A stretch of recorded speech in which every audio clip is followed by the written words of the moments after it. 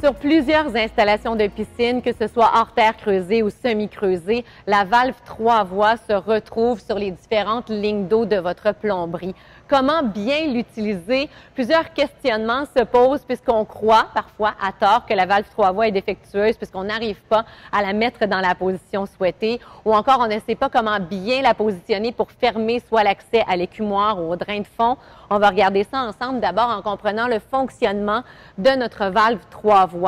D'abord, avant la manipulation sur votre ligne d'eau, c'est par précaution, mais toujours une bonne idée d'éteindre la pompe avant de manipuler notre valve trois voies, comme on le fait avec la tête de filtreur au sable, par précaution. Maintenant, vous voyez notre valve trois voies. Ici, il y a une flèche blanche en relief. D'autres flèches qui, elles, ne sont pas en relief, même encavées. Alors, celle qui nous intéresse, c'est celle en trois dimensions. C'est celle qui pointe l'endroit où on veut fermer l'accès. Alors, en ce moment, elle pointe vers le haut et regardez, la valve est complètement ouverte. Si je rabats la flèche vers moi, eh bien là, tout simplement, la barrière vient de se déposer, c'est fermé.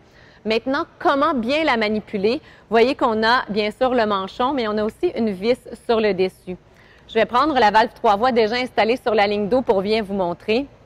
Dans ce cas-ci, on pointe vers un endroit où il n'y a aucune sortie d'eau. Alors, tout est ouvert. Mon drain de fond, mon écumoire, ma pompe, tout est ouvert.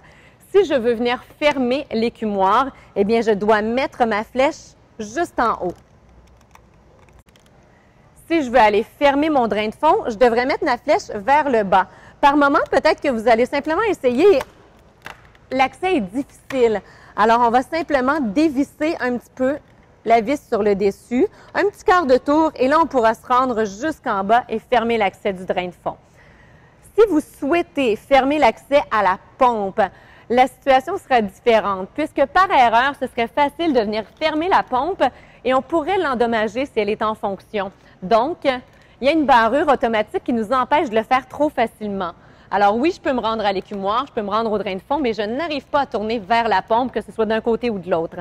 Pour le faire, simplement dévisser un peu plus et tirer sur le manchon avant de le tourner.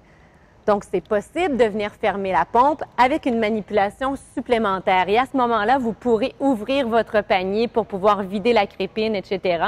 et faire un bon nettoyage comme on vous le recommande, entre autres à la mi-saison. Par la suite, on l'ouvre à nouveau et on viendra tout simplement remettre en place la vis et choisir dans quelle position on préfère bien sûr avoir notre valve trois voies.